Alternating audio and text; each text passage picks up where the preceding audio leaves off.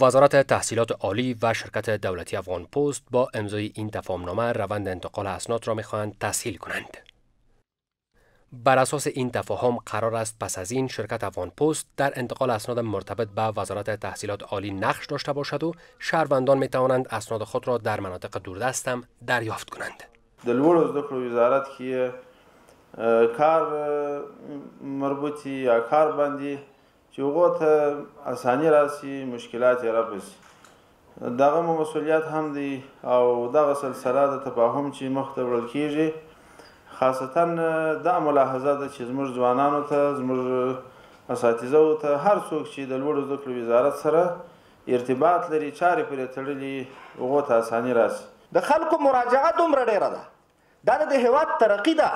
چې خلک اعتماد کوي، مراجعه کوي، په عین حال کې د مسؤلینو توجه ده چې غیر مجاز فعالیتونه یې ختم کړه، څوک چې په دغه بخش د پوځ کې د افرا ادارې نه دغه وانخلي جواز وانخلي د مخابراتو وزارت د خپل نهایي سعی کوي چې هغه ته د فعالیت اجازه ورنه کړي.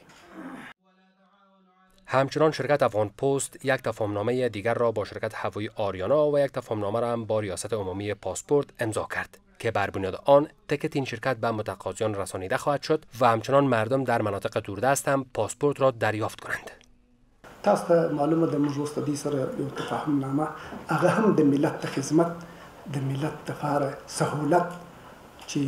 هر چاته په هره نقطه کی ټکټ په ارزانی او په اسانی ورته ملاو سی. افغان پوست الحمدلله د نورو ډیرو داسی ارګانو نه چی دوی کارونه په مخ بیایی ډیر پر وخت په پوره امنیت سره او په پوره شفافیت سره خپل کارونه تر سره کوي. مسئولان شرکت افغان پست میگویند که آنان عرضه خدماتشان را گسترش دادهاند از این رو میخواهند که با وزارتهای مختلف تفاهمنامه امضا کنند. او وکړای شي چې په لږ وخت کې او په اسانه طریقه ښه په سهولت کې د خپل هغه ډیپلوم یا هغه جدول د نمراتو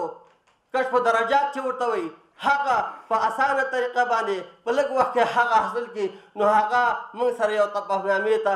هغه شول چې بس یو تفاهمنامه په خپل منځ کې وکړو